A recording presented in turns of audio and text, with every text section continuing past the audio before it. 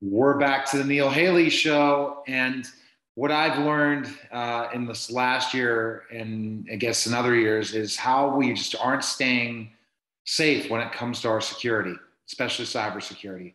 And my expert today is going to hopefully reassure me a little bit, but I don't think he will. He'll make me say I'm not doing enough. And I continue to try to work on two step verification for my passwords make sure that no that not the same password for everything. I used to be so awful at that, sharing passwords to other people and really become safer. But there's so many different things. And my expert today, Greg Hanna, is going to help us, cybersecurity expert.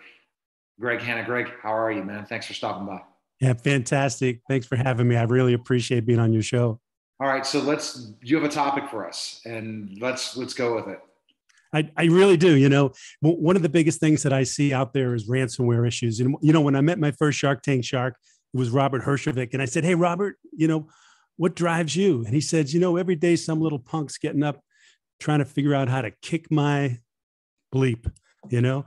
And I'm like, Who are those little punks? He goes, You know, all those hackers and cyber terrorists out in the world, you know, how are they doing it? You know, I'm asking him, he's got a huge cybersecurity company in Canada and they're doing it through phishing, smishing, vishing, and now something really crazy, credential stuffing. So I'll take a few minutes to talk to you a little bit about phishing. Everybody's heard about that. You get these emails from Amazon, you know, hey, update your Prime membership.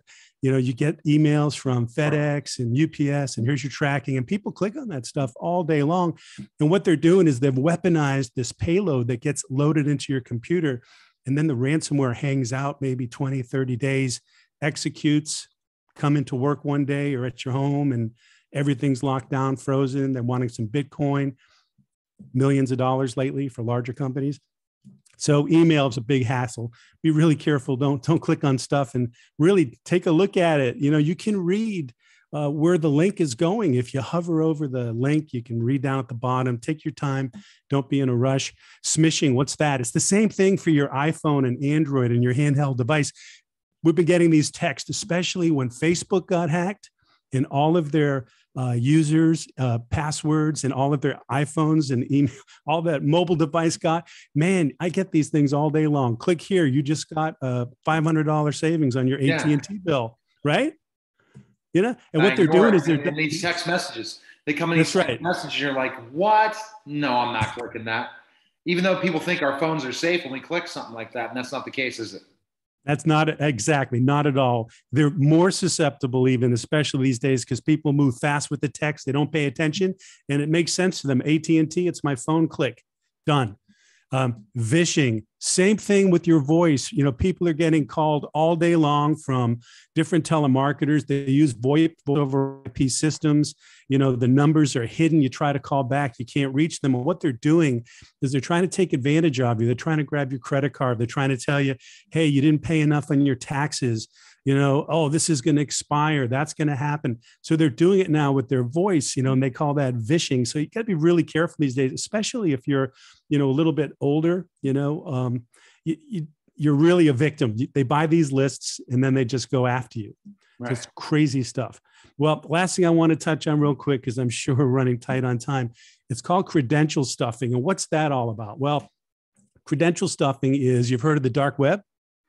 Yes. Yeah. So on the dark web, yeah. usernames, passwords, email addresses, all for sale that have been hacked, leaked during a leaked during a, bre- a, breach like Target or or LinkedIn or any one of these places, and they take this and they put them into a like a bot, if you will, an automated program that goes out and then just attacks websites trying to log in, and they they just stuff credentials, you know, that they get online, and then they break into accounts and they steal people's information, and that's been happening all over the place. Even a well-known, you know, password uh, online security vault was hacked. No passwords were leaked, but they were still hacked with this technique.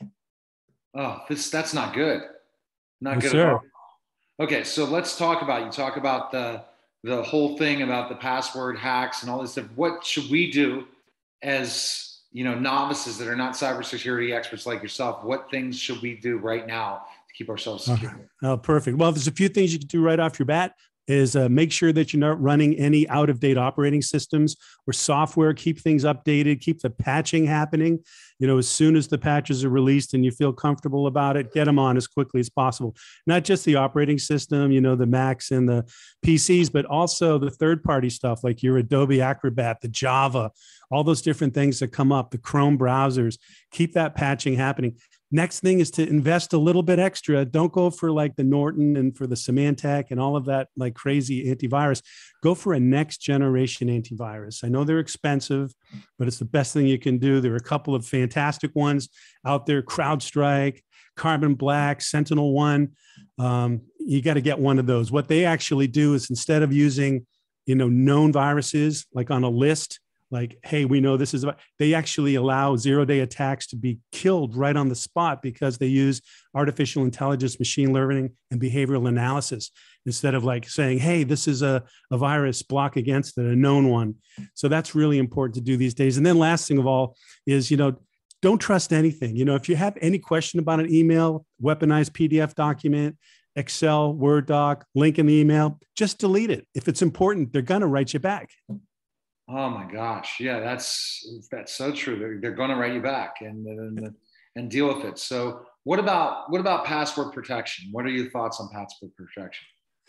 Well, there are a couple of really good ones. First of all, make sure that you change your passwords every day uh, on on sites that are critical to you, such as you know, banking and so on. And by changing them every day, what I'm meaning is make sure that you enable the two-factor authentication or multi-factor authentication.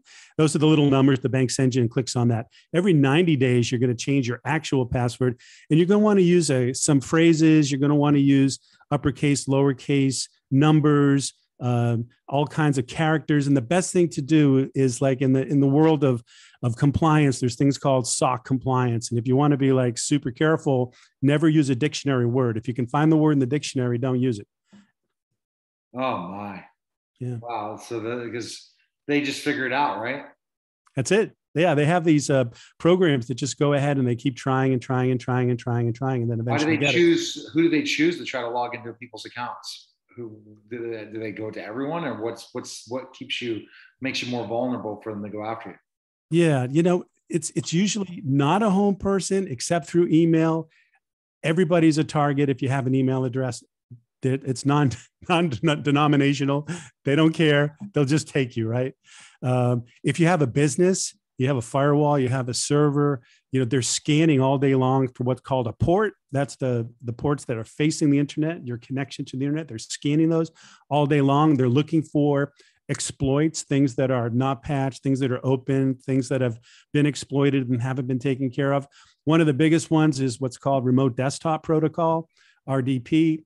Most companies have that because they want a terminal server in, they want to connect in from home, uh, real fast and easy. But that is the number one exploit for a manual ransomware attack. Wow. And with COVID, that probably happened a lot.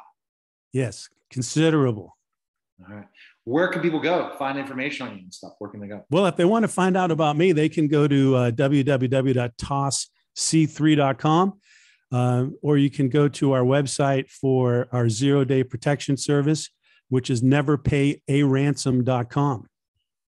Thanks, Greg. Appreciate you. Pleasure to be on. Thank you. You're listening and watching The Neil Haley Show, and we'll be back in just a moment.